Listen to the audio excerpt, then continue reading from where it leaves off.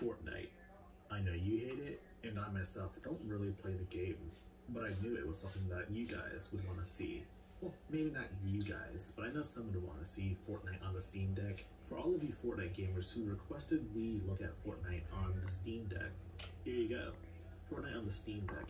Are we about to get a victory royale? Maybe. The Steam Deck being open to other operating systems besides SteamOS is very important because it shows Valve's commitment to being totally open hardware. The sound stage on this thing? That is impressive.